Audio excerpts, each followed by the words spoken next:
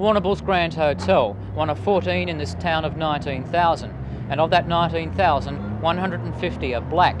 And that would appear to be the one thing you shouldn't be if you want to get a drink here at the Grand. A hotel which doesn't appear to be living up to its name. Or does it? Let's find out. Oh,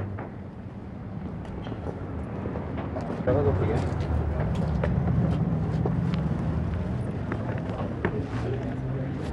Out.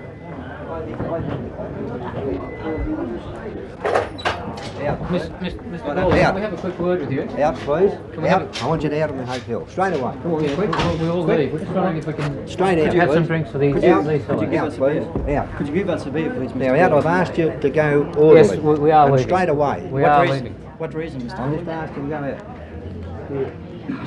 Out.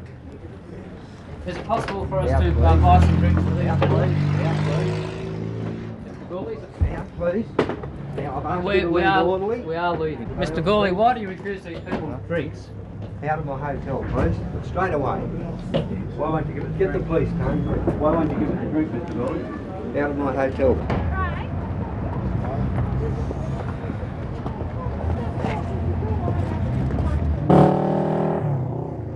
Len, what exactly happened yesterday when you and Senator Bonner and your brother came into the hotel? We approached the bar for three beers. Um, as you know, Senator Bonner was down here on the uh, Senate Standing Committee on Social Environment, and uh, it was disclosed at the uh, meeting that we held at the Framlingham Settlement Trust that uh, there was a hotel in Warrnambool that does practice racial discrimination, and Senator Bonner wanted to find out for himself uh, that it does exist.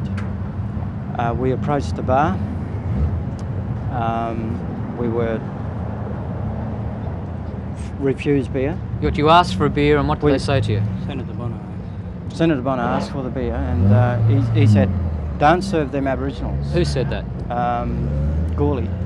He instructed his bar, barman not to serve us. And that, that in fact is uh, the publican, is it? That's right. Yeah. I see. And and you believe uh, has he given any reason why he's uh, why he refused to serve you and Senator Bonner, and in fact refused to serve us now?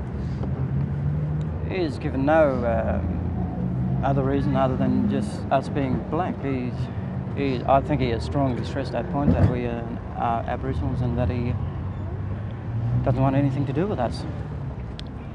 What exactly has he said to you? What words has he used to when he's been talking to you? Well, I don't like you, you people around here. Is there much more discrimination going on in other parts of uh, in other parts of Warrnambool? Are there other hotels which refuse to serve Aborigines? No, It's No. just this is the Grand Hotel here. that's right. Yeah. We get along pretty well with the uh, white people around here. Right, Lenny. How are G'day, Lenny. All right, the fight. Have you had have you had much trouble like this before? Uh, not that I can recall, man. Hey, is this is this just been going on recently, has it? What's been going on? Oh well, you know, Aboriginals trying to get served at the Grand, and, and in fact they uh, being refused service. Well, I don't know of any Aboriginals being refused service at any ho- hotels here. Well, we tried to uh, take some Aboriginals in just before, and uh, we were uh, evicted from the hotel, and we left. Well- and they refused service. Is- Isn't that a breach of uh, a federal law? The situation is with the Liquor Control Act, the publican's got the right to ask any person he wishes to leave for any reason.